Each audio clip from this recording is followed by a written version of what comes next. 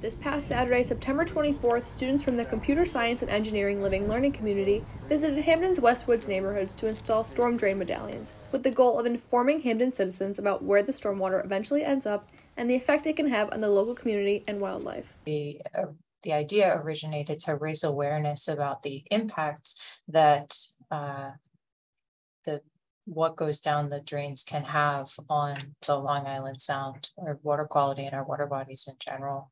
The storm drains in the Hamden neighborhood lead all the way out to the Long Island Sound. In Westwoods neighborhood specifically, that water that comes off of the streets when it rains picks up whatever has been put on the pavement or if people put things down the catch basins themselves that goes into some small streams and goes into Eaton Brook and then it goes into the Mill River and then it goes into New Haven Harbor and then it goes into the Long Island Sound. The project was a partnership between the students, the Mill River Watershed Association, and the Town of hamden Inland Wetlands Commission.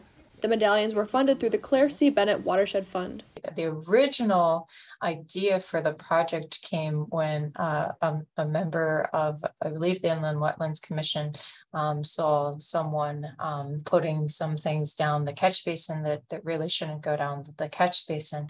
In addition to this initiative promoting better water quality in the community, it also provided living, learning community students with a way to serve the local area community citizenship.